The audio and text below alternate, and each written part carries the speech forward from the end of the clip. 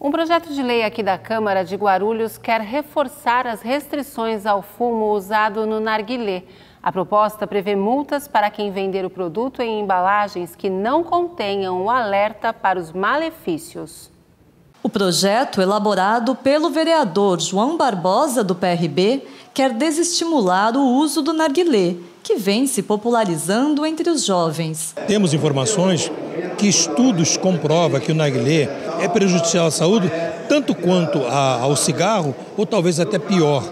Quando o jovem ele vai fumar, é, o aroma agradável, né, por passar por um, por um processo na água, entendeu?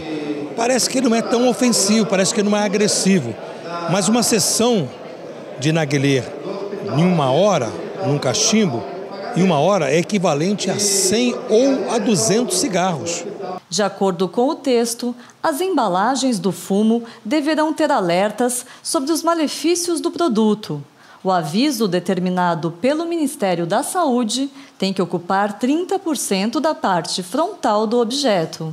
Atualmente, uma norma da Anvisa que regulamenta a lei federal já prevê essa obrigação para produtos como cigarro, charuto e o próprio narguilé.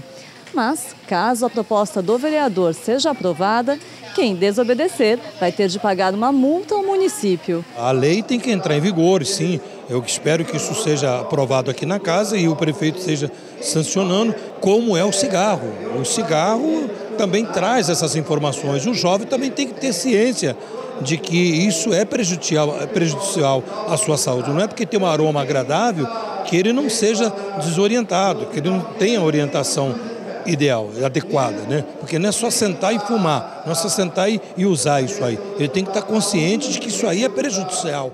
Os fabricantes e comerciantes de Guarulhos vão ter 180 dias para se adequar.